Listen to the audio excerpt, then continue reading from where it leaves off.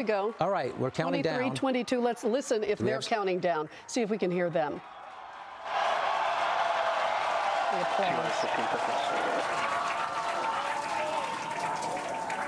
And 10 seconds. Here we go. Nine, eight, seven, six, five, three,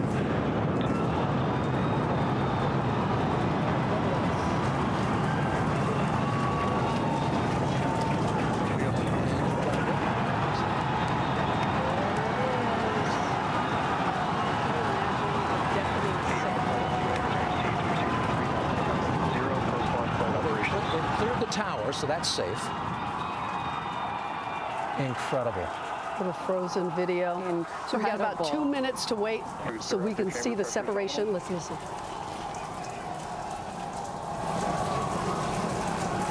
Two plus 43 seconds into the test flight of the inaugural Starship vehicle. Tower clear, we're into pitch over. Propulsion reports first stage engines nominal. What a sight from the ground cameras power, at telemetry Starbase. We're flying at twice the thrust of the Saturn V heading to space. Authorization of signal, Corpus Christi. We're throttled down and throttled back up. Going through the period of maximum aerodynamic pressure. Look at those engines. Looks like some of them didn't light up. But they've got a lot of extra engines on there. Yeah, a couple of those engines didn't sp- light up. Yeah. And we can see on our monitor the speed, it keeps increasing. It's at almost 900 kilometers. You're right, John. About six of those engines Yeah, didn't eh, they light built a lot of redundancy into this thing for that very reason. Watch the first stage as we head downrange. But uh, just getting that thing off the ground is an incredible accomplishment. Wow. 100 seconds into flight. And you can hear the cheers and the Oh, it's applause. amazing. If you're a space nut like me, this is incredible. over the first What a stage. feat. Mm-hmm. Houston Tracking Station now acquiring the vehicle. With shutdown, we will get separation of Starship and Super Heavy and ignition of the Starship engines. When Starship separates, we doesn't light up six engines in a staggered sequence. And if all goes well, those six engines will burn for almost six and a half minutes. Onboard Oh, view great. from Onboard views. Look at that. That's great. Incredible. And there's views of the Raptor engines on the second stage as we prepare for stage separation. Now, after Now you're looking at the first stage second stage flip, rocket engines inside. for landing And when in they the Gulf. separate, they'll ignite. What an incredible view. There again is that the second stage engines ready to go. Continuing to fly, two minutes 40 seconds. Let's get ready for main engine cutoff. All right, big step This here. is, yeah, this is important right now. Booster engine cut off. Beginning the flip for stage separation.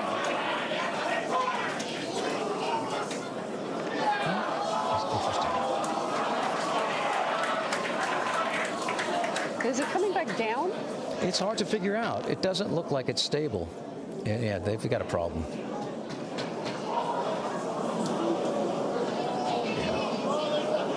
The flight should It looks last like- 90 minutes. It looks like it's it splashes rotating, which is probably not good. Yeah. As of right now, we are awaiting stage separation, where Starship should separate from the Super Heavy booster. Yeah. Yeah, Kate, right now it looks like we saw the start of the flip, but obviously we're seeing from the ground cameras the entire Starship stack continuing to rotate. We should have had separation by now. Obviously, this is uh, does not appear to be a nominal situation. Yeah. Yeah, it does appear to be spinning, but I do want to remind everyone that everything after clearing the tower was icing on the cake. Ah, there it goes. Just exploded. There.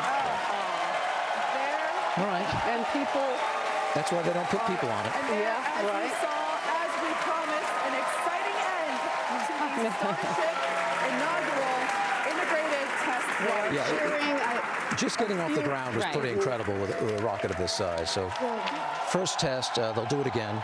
They've got like five of these things built already.